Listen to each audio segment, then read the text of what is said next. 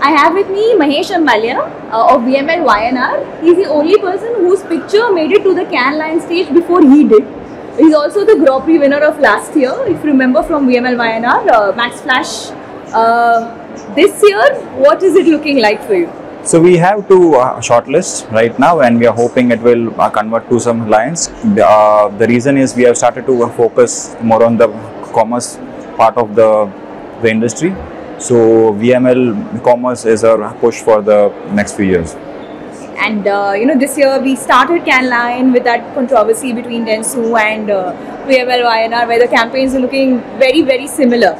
Do you think that affected your chances in some way? Uh, well, I don't know. See, uh, yesterday night, a very interesting thing happened where uh, there was an idea which won gold, uh, which was the sticker that uh, saves lives or something like uh, it was for a fruit. And I could see everyone right next to me, like the, the juniors and all, going like, I had this idea, right? So, as a creative a, a person, it is okay that you stumble upon the same idea, and uh, uh, it's sad that you know neither they could win on the first day nor we could win on the first day. So, uh, more than my entry or their entry, it's a sad day for the country that uh, we couldn't open our account on the first day. Didn't work out for both. of you. Yeah. And uh, you're also on the Cannes Young Lion jury this year. Yes. What is that looking like? Well, uh, when I'm in a creative room talking about briefs and idea, I'm very uh, tough. Like I th- throw out half of the ideas out. Okay. But I was in the uh, D&AD y- young uh, blood jury, and as soon as I start uh, judging young uh, blood and s- students and juniors, I c- completely change. You become lenient.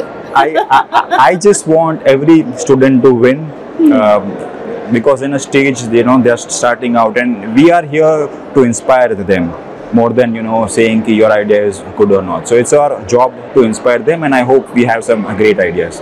And one last question: uh, What is the discussion around uh, happening around Cannes this time? What is the topic that's really making news? What is the futuristic thing that is happening at Cannes Well, I can't say on the first day, but it's a special year since it's the 70th year.